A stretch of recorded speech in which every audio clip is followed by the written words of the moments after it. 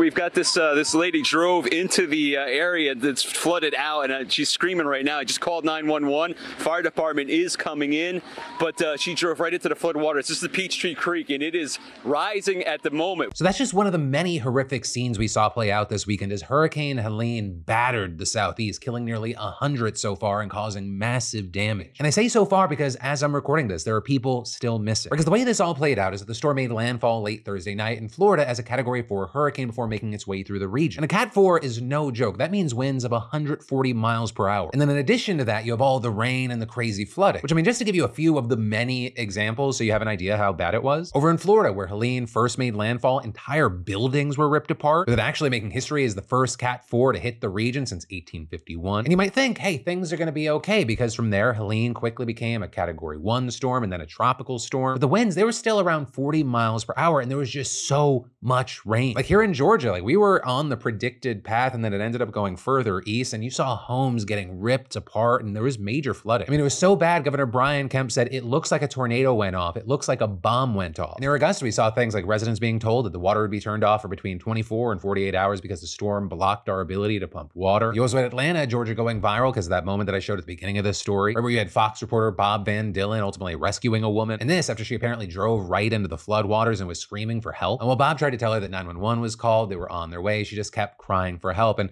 ultimately, Bob said, It's a situation. We will get back to you in a little bit. I'm going to go see if I can help this lady out a little bit more, you guys. I'll be back. with him then pulling the woman out of her car and helping her out of the waters. And actually, as the Fox News anchors pointed out, Van Dillen is apparently a giant at six foot four, and the waters were up to his chest. And with that, I gotta say two things. The first is that what Van Dillen did, it is brave. He is our BAMF of the day. But then also, two, I have to let you know that what he did was extremely dangerous, and emergency personnel do not recommend it. Though that is obviously easier said than done when someone's clearly fearing for their life right in front of you. But again, Van Dillen's a hero for what he did. Then, though, moving to South Carolina, the storm left about 760,000 homes and businesses without power as of this morning. And in fact, across the entire Southeast, we're talking about over 2 million. And then the mountain communities in North Carolina, they got extremely flooded. And I mean, about 300 roads were closed, meaning that the rescue efforts, as well as delivering supplies after the storm passed through, they were extremely hampered. Governor Roy Cooper also emphasizing that the death toll in North Carolina was expected to rise as a ton of people were still missing from the floods and landslides. There was also considerable flooding in Tennessee that caused deaths. And while obviously the focus should be on getting help to the people on the ground here, this whole situation has also now gotten political. Where Donald Trump has already promised to visit one of the worst hit towns in Georgia, prompting supporters to ask, Where's Biden? And while in Georgia, Trump said the governor is doing a good job, but he's having a hard time getting the president on the phone, saying they're being very non responsive. But that's not what Governor Kemp has said at all. He's actually had the opposite experience and even just said, The president just called me uh, yesterday afternoon. I missed him and called him right back.